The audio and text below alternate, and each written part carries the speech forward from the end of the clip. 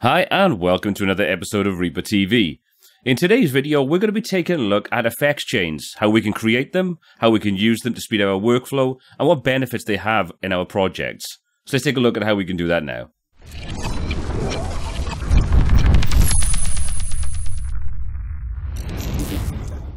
So what exactly is an effects chain? It's basically a group of effects that are applied together to an individual track.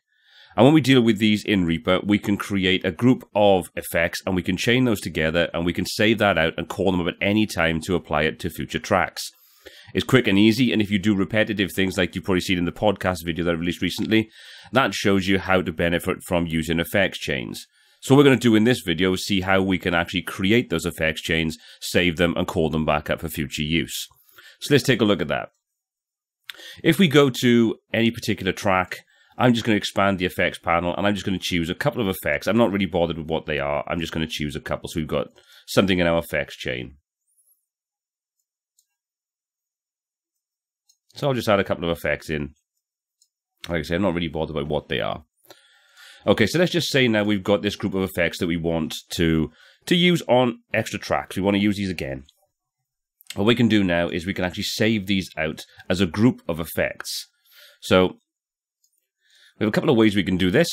We can come up to the effects menu and we can say save effects chain. We could also save this effects chain or save the chain as default for new tracks. So in other words, every time we created a new track, this effects chain would be loaded in automatically as part of it. Now this is great if you've got things that you want to apply to every track. You want to sort of put uh, some gain reduction or things like that on there. So you can do that from this as well. But for this example, we're not going to worry about that. We're just going to go up to save effects chain. And what that'll do is that'll ask us to save this chain. Now it'll automatically open up to the relevant folder on your installation of Reaper, but you can save these anywhere you want. So what I would suggest is we'll give this a name and we'll just call this one test chain. And then we'll just hit save.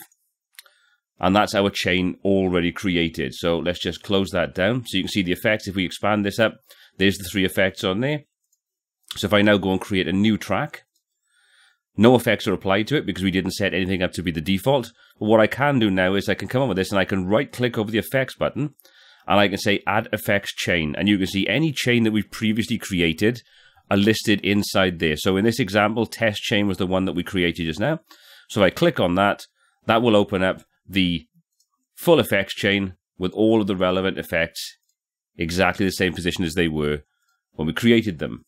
So that's a quick and easy way of creating a group of effects that you can apply to any individual track at any point.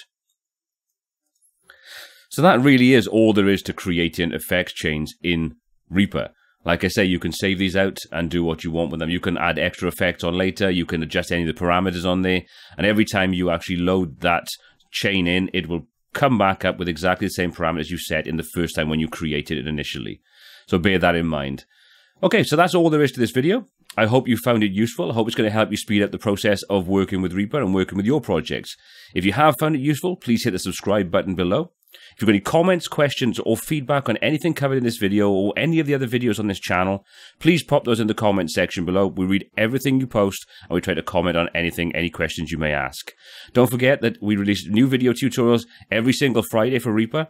And if you want exclusive content that's not available anywhere else, please pop over to the website www.reapertv.co.uk where you can access this exclusive content.